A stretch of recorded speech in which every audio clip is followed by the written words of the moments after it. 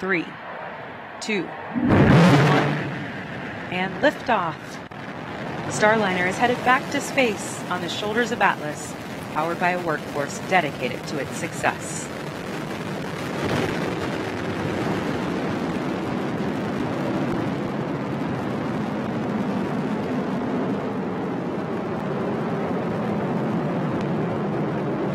We have confirmation of a good MET epic timer on Starliner.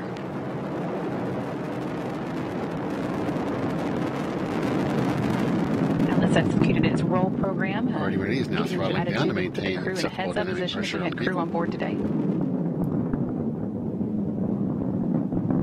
This is the first planned throttle down for Atlas in preparation for Max Q. Max Q, maximum dynamic pressure on the vehicle.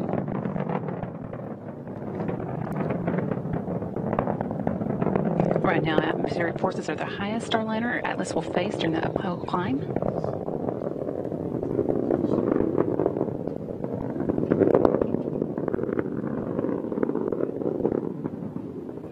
Mach 1, Atlas 5 and Starliner are now supersonic. Vehicle now throttling up. Up, ne- up next in about Engine 20 seconds, good. Starliner's two solid rocket boosters will run out of fuel and burn out.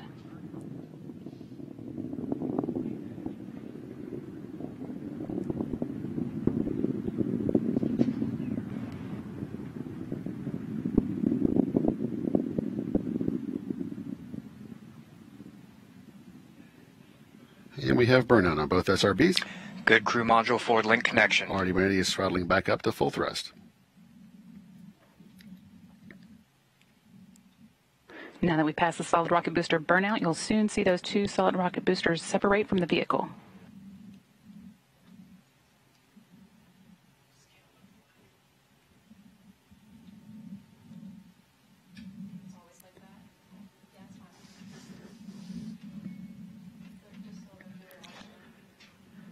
Atlas 5 now weighs just one half of what it did at launch, burning propellant at a rate of 2,800 pounds per second.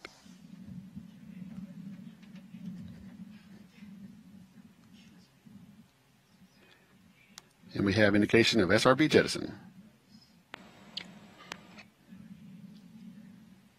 Atlas continues to ascend using solely the RD-180 engine. That's about Two minutes remaining in the 850,000 booster phase of pounds of thrust at sea level.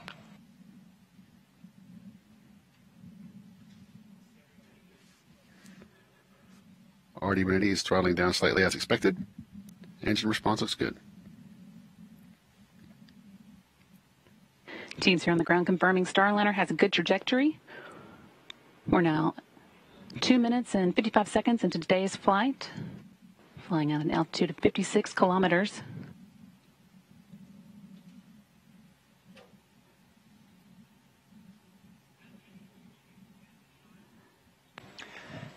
Our next throttle down will be to control acceleration forces, uh, limit forces on the crew to bel below 4 Gs. That is safe for an extended period of time.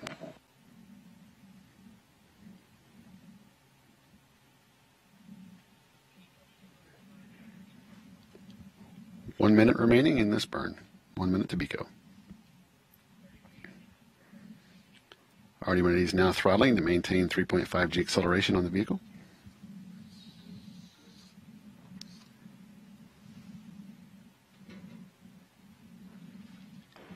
Starliner flying off the uh, east coast at this point at uh, altitude of 80 kilometers now, moving at a rate of 1,187 miles per hour. It's just passing North Carolina and Virginia off the northeastern seaboard. For those of you watching along the coastline, you might be able to see this launch.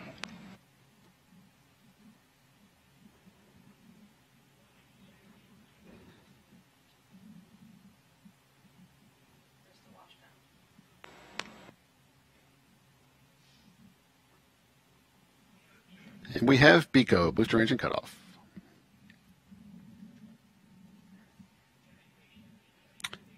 We have successful sta success staging, pre-start on the RL10s.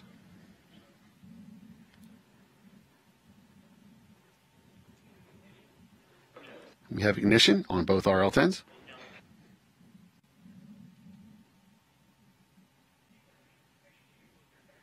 Centaur's now going to closed loop steering. Just passed through several milestones. Teams here on the teams here on the ground reporting that all are looking good. Ascent cover jettison there that provided that And aerodynamic air structure to the top of Starliner, protected the docking equipment during ascent.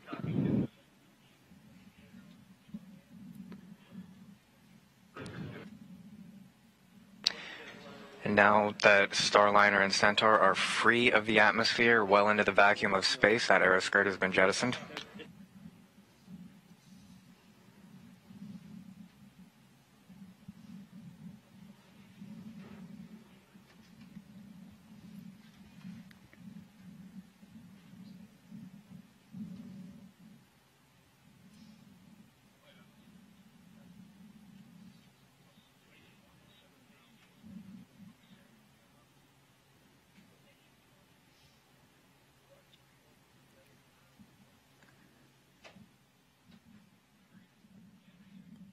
Now, six minutes into today's launch, Starliner continuing to accelerate up the North American coast. Everything going smoothly so far.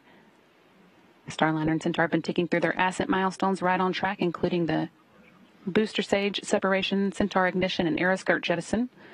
A number of status calls we'll be listening for in the next several minutes, but if all continues to go well, the next major milestone to watch out for is the main engine cutoff when Starliner will be officially in space.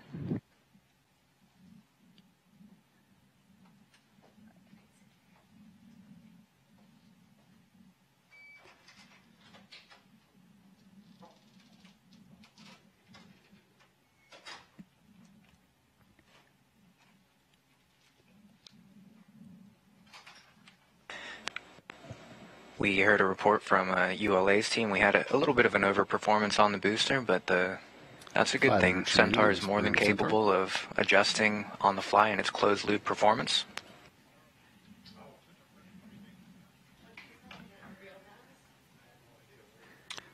Centaur pressures are stable. Centaur looks good.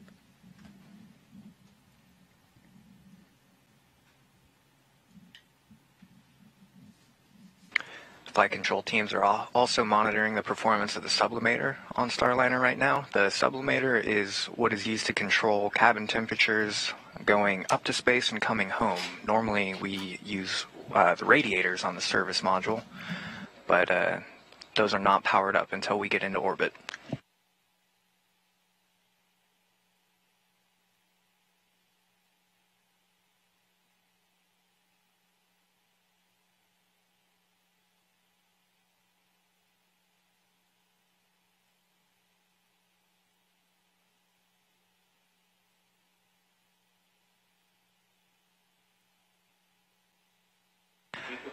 We heard confirmation that St. John's abort zone is open.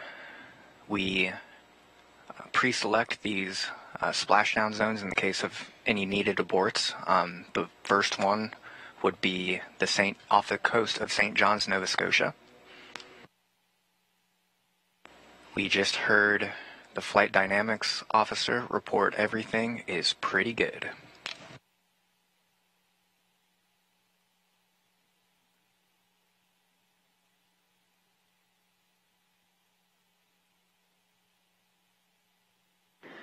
Flight controllers here in Mission Control confirming that our main engine main engine cutoff time is looking stable. It is going to be 11 minutes and 50 seconds into the flight. We are now 8 minutes and 50 seconds in, so that's uh, still about 3 minutes to go until we hit that milestone.